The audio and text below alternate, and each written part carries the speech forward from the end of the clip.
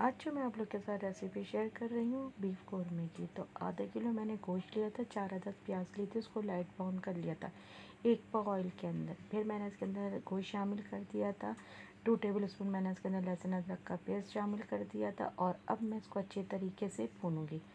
फिर इसके बाद मैंने आधे किलो, आधा किलो का मैंने साशा इसके अंदर ऐड कर दिया था। अब मैं इसको, मैं पानी डाल के मैं रख दूँगी और एक पाव मैंने दही लिया था, जो मैंने प्याज ब्राउन करी थी, अब मैं इसकी मिक्सिंग करके और मैं इसको गोश्त में शामिल कर दूँगी। और तीन गिलास पानी डालकर मैंने इसको रख दिया था। जब तक हमारा गोश्त गलता है तो फिर हम जब तक बारीक में अदरक इसकी कटिंग कर लूँगी, जो हम ऊपर से डालेंगे।